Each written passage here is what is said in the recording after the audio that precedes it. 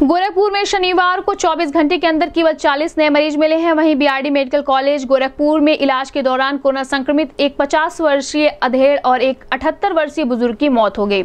इसके बाद से ज़िले में संक्रमितों का आंकड़ा इक्कीस पहुँच गया है। इनमें बीस लोग ठीक हो चुके हैं, जबकि मौत की संख्या तीन सौ पैंतालीस हो गई है।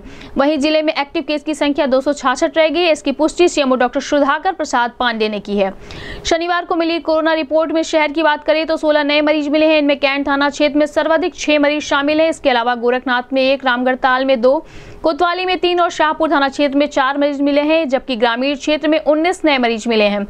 इनमें ब्रह्मपुर, बेलघाट और सरदार नगर में एक एक गोला उर्वा और खुराबार में दो दो और चरगावा में 10 मरीज़ मिले हैं। इसके अलावा अन्य थाना क्षेत्रों में पाँच मरीज़ मिले हैं।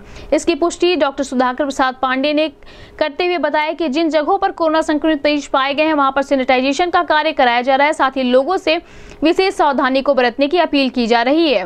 दो गज की दूरी, मास्क है ज़रूरी। सामाजिक दूरी का करे पालन अपने और अपने परिवार को बनाए स्वस्थ और सुरक्षित।